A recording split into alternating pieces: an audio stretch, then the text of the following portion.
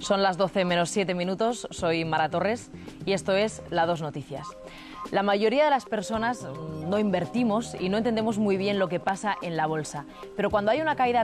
Buenas noches, Tim Barton, hoy en La Dos Noticias. Tim Barton es uno de esos directores. En deportes, Raquel González nos va a enseñar el R28. Es el coche que Fernando Alonso y parece que los vientos huracanados que han hecho que se desplomen los índices de la bolsa viene de Estados Unidos a partir de un anuncio de medidas contra la recesión económica que ha hecho Bush.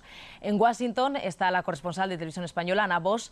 Ana, ¿qué es lo que ha pasado? ¿Qué ha hecho? Muchas gracias, Ana Bosch, por esa información en directo desde Washington. Para Pedro Solves, nuestro ministro de Economía, la cosa no es para tanto. Dice que en Europa estamos preparados para una recesión. La mitad de la isla del Hierro ha pasado hoy el día a oscuras. Vientos de más de 120. Fue muy divertido.